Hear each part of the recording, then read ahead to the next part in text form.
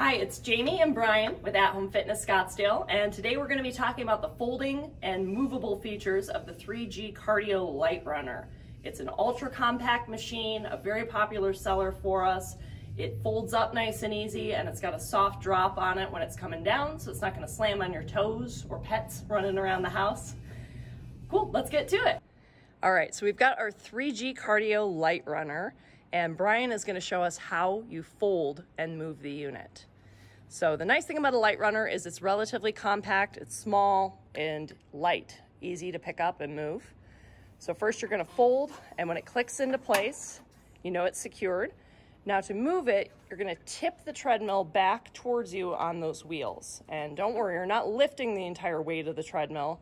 It's sort of like a wheelbarrow, it's just leveraged on those wheels, makes it easy to move around. Now, if you were going to move this into another room, there's the possibility that some disassembly might be required. Most treadmills are wider than a standard doorway. The Lite Runner is unique that it can typically fit through a doorway in the tilted position like that.